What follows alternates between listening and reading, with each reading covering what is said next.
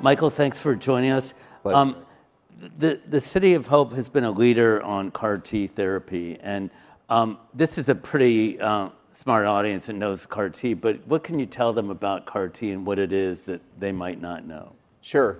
Uh, well, first of all, it's largely a therapy for cancer, and uh, it's traditionally thought of as a therapy for blood cancers. Uh, City of Hope does all blood cancers with CAR T therapy, but it also does about 13 different what are called solid tumors, you know, lung, breast, colon, et cetera. Those are the solid tumors.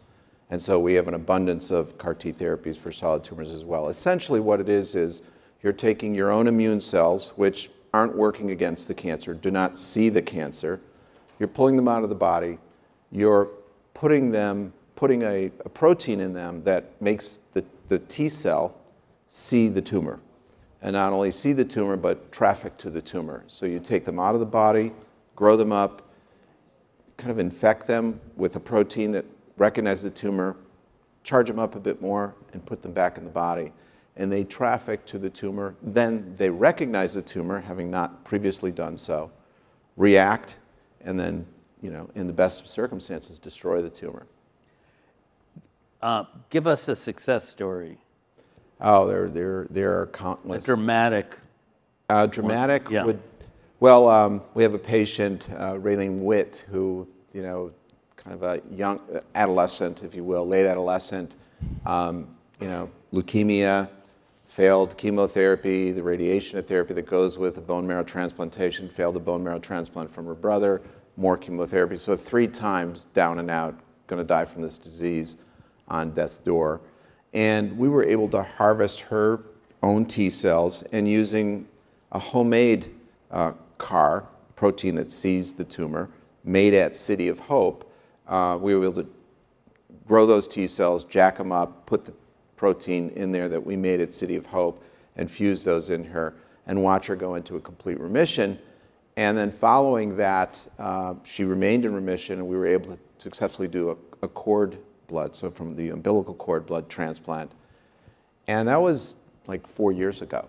And she remains, you know, alive and well and, and, and fully back to, you know, a normal life, which is, uh, that's what we do, you know, and uh, that's, that's, where, that's where this wonderful development of CAR T therapy has taken us. City of Hope's done over a thousand of these. So, you know, a lot of times, like in surgery, you ask a surgeon, how many times have you done this?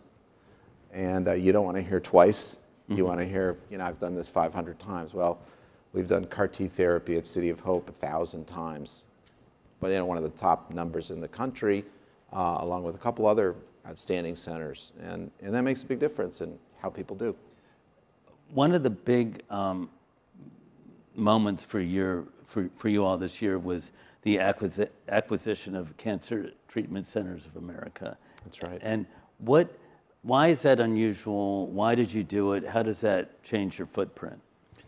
Great question. Well, City of Hope, for those of you don't know, it's, we're in Los Angeles. We're what's considered an academic medical center. We focus primarily on cancer. And we have, you know, you name a cancer, we have a world expert in that cancer. And so if you're an educated consumer, you know you want to go to a comprehensive cancer center. If you're in Los Angeles, you're going to go to City of Hope, maybe another, and you're going to see that expert. But if you're not in one of those, you know, populated areas, or if you're not an educated consumer, you know, you go to your local hospital. And in fact, 80% of people go to their local hospital. And candidly, at this time, things like CAR T therapy, um, which don't involve chemo, don't involve radiation, don't involve surgery, but can be curative, aren't available in those community hospitals. So one of the things that we're trying to do at City of Hope is really what we call democratize care, right? A term being used widely now. But add a see to it that our innovation from City of Hope gets to the community. And so there are different ways to do that. We all have what are called catchment areas. Say, for example, African Americans in Los Angeles, in our catchment, City of Hope, where we are in Duarte, about 9%. Well, in acquiring Cancer Treatment Centers of America, which we've acquired three community hospitals and about 13 outpatient practices in Chicago, in Atlanta, in Phoenix. So you go to Atlanta, you got 33% African American population. So we've now exported CAR T therapy into this community, and uh, first did our first CAR T uh, in the Chicago Cancer Hospital successfully. And so the idea is rather than to ask people from all over the country to come to you, your specialized area, difficult, expensive, travel, et cetera, you know, bring the therapy to them. So the idea was to really broaden our catchment of who we can serve with our innovative therapies, now all part of City of Hope. What challenges have there been in sort of acquire, in an academic institution making this acquisition? Has it been as smooth as you? Well, City of Hope is uh, an amazing organization. It's a private organization. It's one of the few in the country that has no affiliation with a university. Hmm. So we're not, and there's wonderful things that come from being at a university. Of course, I was at another organization, another cancer hospital, another university. There are benefits. But one of the advantages of being free from uh, university is you're free from a lot of the bureaucracy and a lot of the competition that goes on for what do we do. You know, you have this department, that department, this school, that college. We're City of Hope.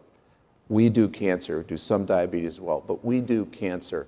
And so when you know the opportunity to acquire Cancer Treatment Centers of America came along, we do cancer. We're in great financial shape, and we said, this is going to change how we get our care across the country. We're going to be a national health system now focused in cancer as opposed to uh, a uh, unique academic medical center in Los Angeles.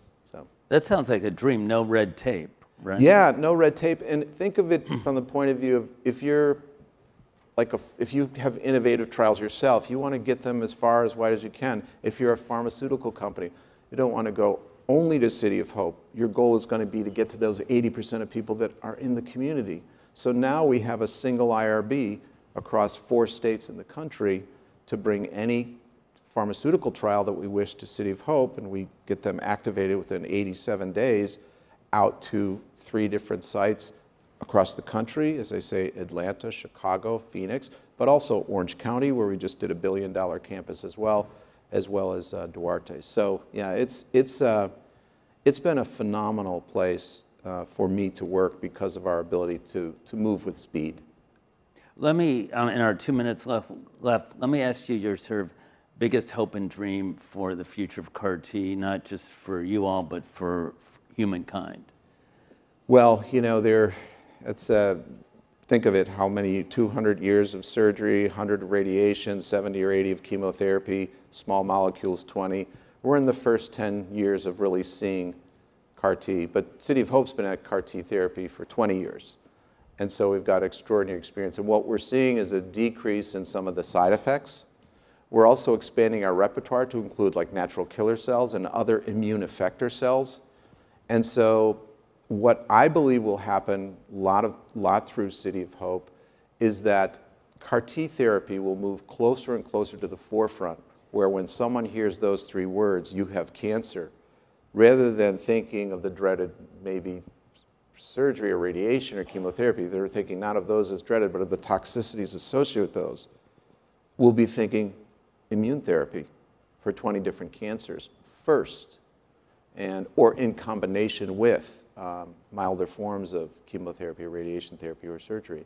So that's where I think it's going to go. And we're in, just think of how long these other modalities have been in place. We're in our infancy, and being at City of Hope is, uh, has been an exciting place to see this launch successfully and now move across the country.